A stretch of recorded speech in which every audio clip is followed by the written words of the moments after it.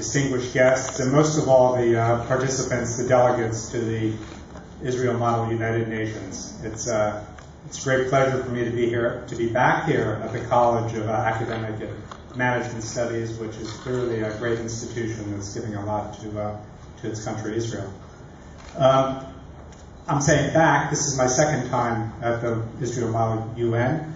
I was here last year for the closing ceremony, and I can say I was really impressed by the, the excitement, the enthusiasm, but clearly the great time that the delegates had with each other, learning from each other, talking to each other, and after a week, um, you could see how everybody was brought together and there were real bonds and friendships formed. Perhaps um, I can't remember what the topic was last year, and I imagine that, and I imagine many of the delegates who participated in it may not even recall what the details of the positions were, resolutions they passed, and debates they had were. But I'm sure they remember the friends that they made, and I think that's a very important uh, contribution of a, of a meeting like this, and I know all the hard work that went into putting it together.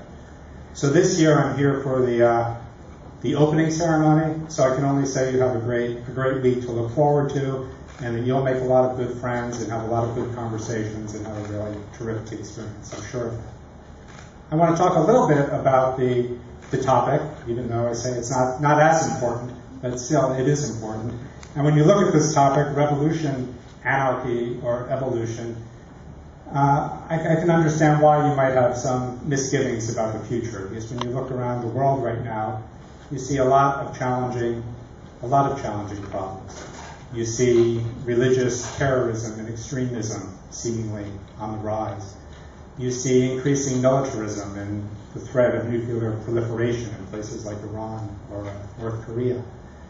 You see the global economic challenges that are facing my country, that are facing Europe, that are facing many of the uh, developing countries as well. And the Secretary General mentioned the terrible famine right now in the uh, in the Horn of Africa. There are problems of piracy. There there are um, there are the threats to the environment, the threats of uh, the the issues of, of energy security. So all these big problems that the world is facing today, and it, you might say you might look at this with a, from a pessimistic point of view. But I what I'd like to say is, and I think it's the message of my country, is that it's uh, too easy to be doomsayer. It's too easy to be pessimistic. That's the easy. That's the easy way out. And when you look at the, the course of history, the course of development over the past couple, couple of hundred years, past 200 years or so, you can only be optimistic about the future. When you see the growth in economies, the growth in uh, incomes, the reduction of poverty among countries, the poverty disparities within countries, when you see the extension of, of lifespans, the reduction of disease, the amazing things that have been contributed to the world through innovation and, and new technologies, you can only wonder at that and and ask yourself, you know, where is it that um, as we go forward, why would tomorrow be worse than today or the past when the when the past experience has only been only been positive. Um, all of these things, all of these good things that I just mentioned, like especially the technologies, bring within them their own their own challenges. Um, for example, in the area of, uh, of computing and uh, and uh, communications, you have the risks of cyber warfare. And but the, the benefits of these things so far outweigh those risks that they, they need to be pursued and need to look for solutions to to the problems. Um, I wanted to mention one thing in particular, one of these one of these developments in particular, which is the um, the fantastic increase in the use of the internet and communications technologies and what that means for the world of the future.